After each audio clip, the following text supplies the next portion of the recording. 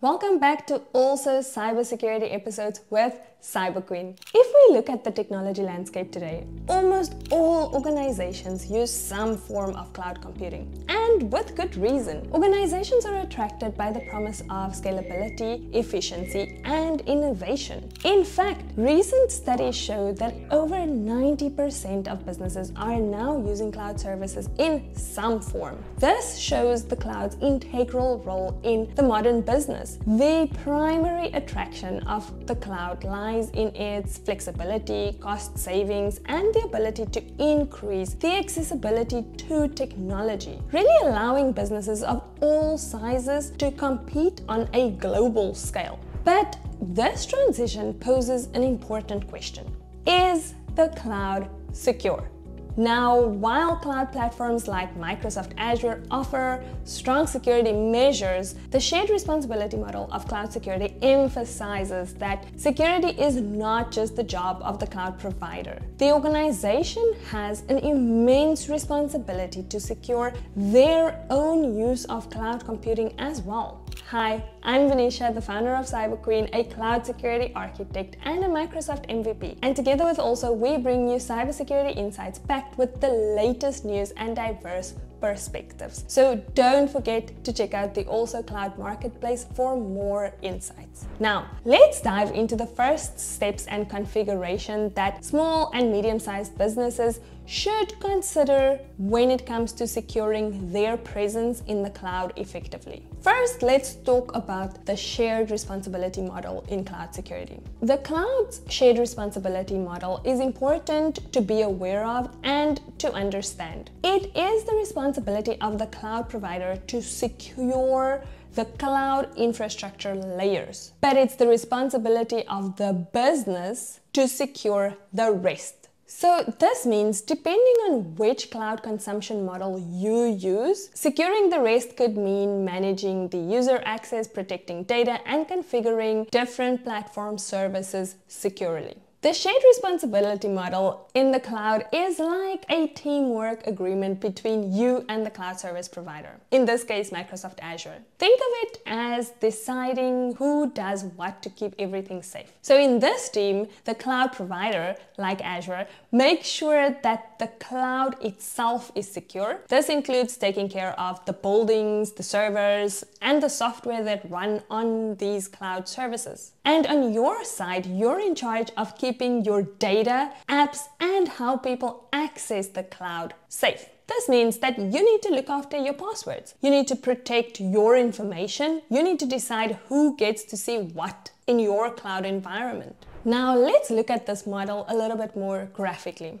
This really shows what parts you as a business need to take care of and what parts the cloud provider, aka Microsoft, would handle. In this case, the areas in blue are always your responsibility. So information and data, no matter what service you use, whether it is infrastructure as a service, platform as a service, or software as a service, or your on-premise servers, you're always in charge of securing your data. Now, this means keeping it safe and deciding who can see or change it, and also protecting it from any data leaks or any data theft. Next up is the devices. So in this case, think mobiles and PCs. So you need to protect the devices that access the cloud, whether it's in your office or in your pocket. This includes using passwords, keeping software updated, and making sure lost or stolen devices can't give away any of your business secrets. When it comes to accounts and identities, your user accounts and how people sign in and prove who they are is always up to you. So this involves creating strong passwords, using multi-factor authentication and making sure that old employees cannot get back into your systems.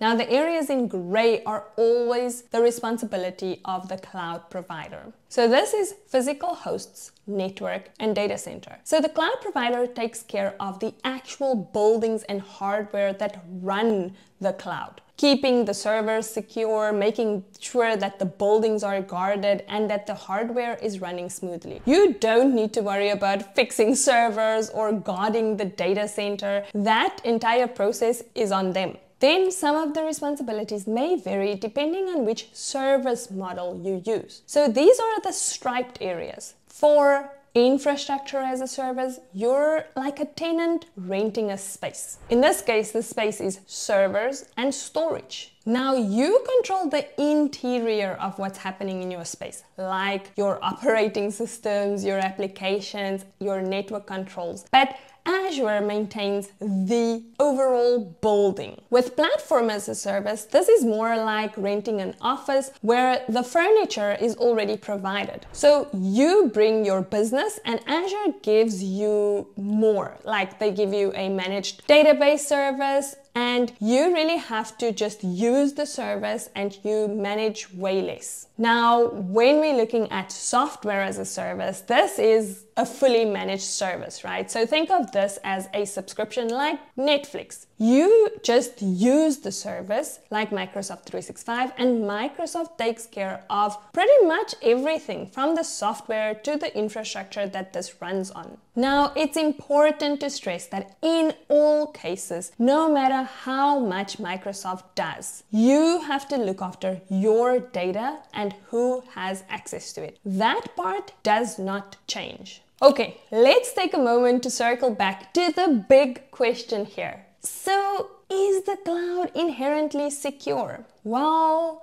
only if you decide to use the secure capabilities that's available to you. If you don't enable the security controls for the services that you use, then your cloud environments will be exposed and they will be vulnerable to threats. So exactly which security controls should you implement? Now, to help you decide, we can look at a specific matrix. For example, the Cloud Capability Matrix. So in this case, with relevance to Azure, this will provide you with like a security checklist. It helps you to understand what security tools are available and which ones you should turn on for your specific requirements. Now it's important because it shows exactly which security tasks Azure can take care of and which tasks you need to handle. For example, in a shared responsibility model, Azure ensures that the physical servers in the cloud infrastructure is secure. So think of this as like the cloud's security guards, making sure that the building is secure. But it's up to you to make sure that you secure your data.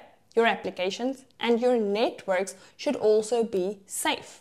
This might include setting strong passwords, controlling who can access your data, and then protecting the applications that sit inside of that cloud space and securing the network level access to those applications. The Cloud Capability Matrix guides you to specific security capabilities that can help you to do your part. So this could mean using Azure's identity and access management services to check whether the right people are getting into the right systems. It could be turning on data encryption to keep the information secure, etc. So in essence, the matrix is a way for businesses to know which controls are key and which controls should be enabled. It takes away the guesswork and it gives you a clear path to follow for securing your part of the cloud. So Imagine it like having a security roadmap that's specifically customized to your needs, making sure that you use Azure security features to the maximum.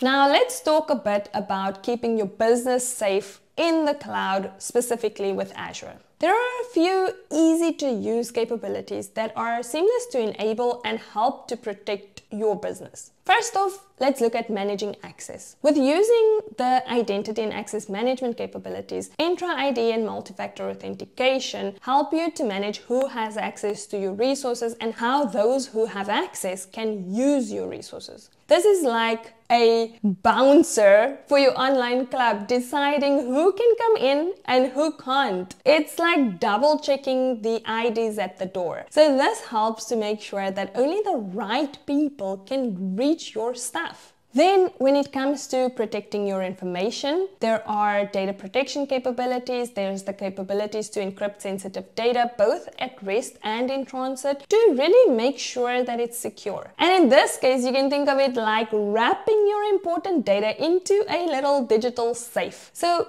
it's secure. Whether it's just sitting there or if you are trying to get it somewhere else, it is secure in the process for network security using firewalls and network security groups to control the flow of information and really protect your systems and your applications against unauthorized access. So in this case, imagine putting up fences and gates on the internet. Network security controls help to control who can send stuff to you and who you can send stuff to.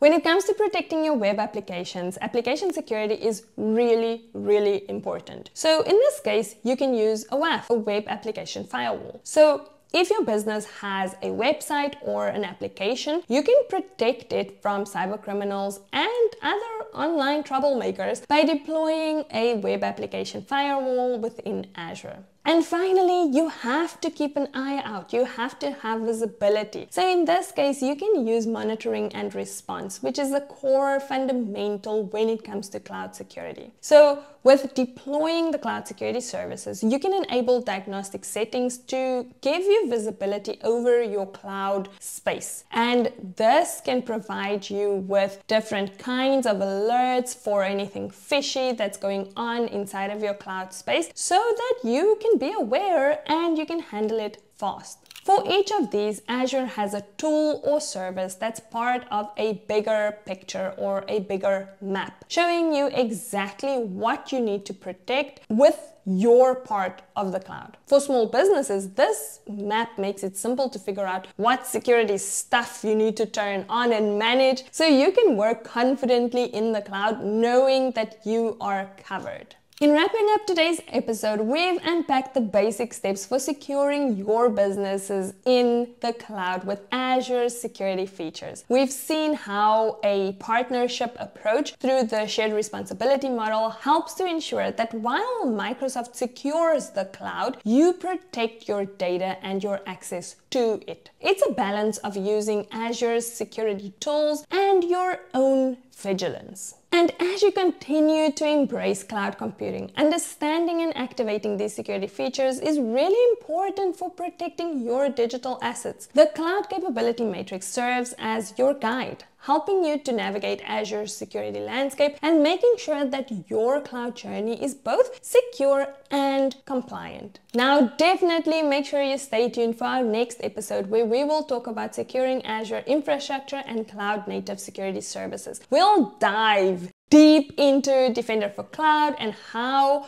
CSPM, Cloud Security Posture Management, can streamline your cloud security posture initiatives. And of course, we have to have to talk about the advanced capabilities of Microsoft Sentinel. Definitely make sure you check out the Also Cloud Marketplace for a lot more information on all of these platforms, tools, insights, capabilities that we discussed today. And as always, thank you for watching. Stay vigilant and stay secure.